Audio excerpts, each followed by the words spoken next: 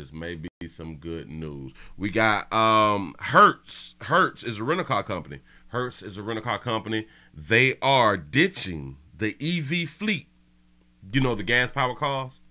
You know because there is laws or stipulations or something. I think from um from um the Biden the Biden administration if I'm not mistaken, they put a time limit on when we can't use gas no more, and we're trying to go electric. And I think that in 2030, if I'm not mistaken, in 2030, like places like California will not be able to use gas vehicles or something like that right there. But anyway, they say it's not working out. it's not working out out here in these streets to where a rental car company is ditching the gas cars. Here we go. Well, the White House is well, ditching the power cars, the electric cars, them, them, them, the EVs. Here we go. Only defending their EV push, but they're doubling down with a $623 million investment to build a charging network. I want to bring in the car coach, Lauren Fix. Lauren, I want to get your thoughts on this. They're putting more money, more. They're going after more of these uh, cars, pushing EVs on Americans. People don't seem to be buying them. You are correct, Cheryl. Yeah, mm -hmm. and it's interesting is all the car manufacturers are putting out some pretty cool products like we've seen at the Consumer Electronics Show and other auto shows around the country.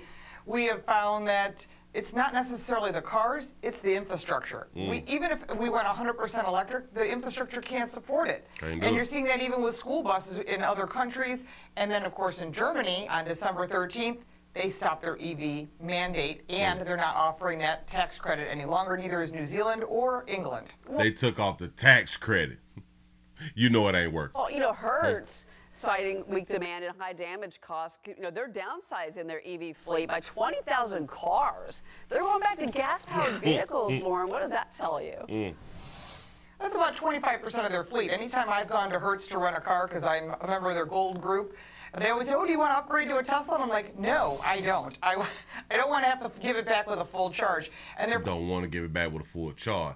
So she don't even want to rent the Tesla. Wow. Finding that they can't rent them, and I always talk to the people there. You know, are people asking for them, and they're saying no. And also, the tires are being used up quicker because of the weight of electric vehicles, Ooh. and that's something that people don't realize when you purchase an electric car that the tires wear out quicker. I never knew that. I never knew that. I never knew that. I never knew that that the tires wear out quicker because of the weight. I didn't even know that they was really really heavy like that right there. Hmm.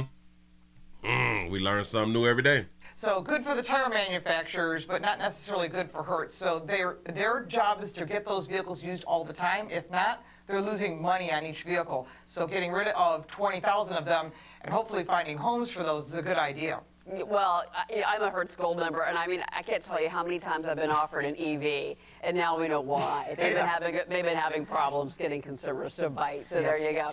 Uh, so wait, think about it this may be something good for the consumer as of like right now, like for this month or next month or something like that. If you have to rent a vehicle, you may want to be like, okay, I take a EV, but at a lower price.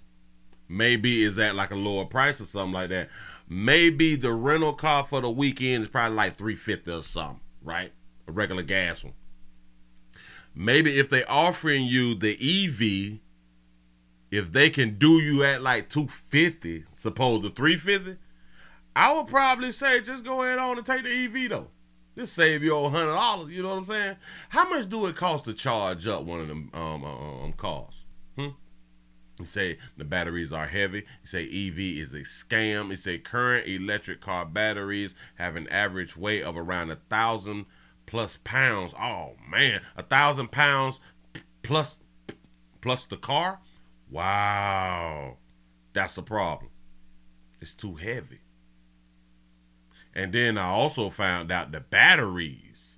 The batteries, I kept seeing um TikToks or something like that right there to where people didn't know that they batteries are five hundred or ten thousand dollars or twenty thousand dollars for some type of battery or something like that that I was um that I heard out here. I don't know how true it is because I did not do my investigation. Uh, Lauren Fix, it's always great to, to talk to you. Thanks for joining me. Oh, you say if the battery dies, the replacement costs the same as a new gas car. See, so I was kind of right. about the batteries being so expensive if if the batteries need to be replaced. And that is a real, real shame. That's a real, real shame. You say Toyota run forever. Mm. You say, Willie, if you're not a client for EV and you rent the price to charge is going to be more than a regular client. Oh, the batteries are about 30 to 50K to replace. That's a damn shame.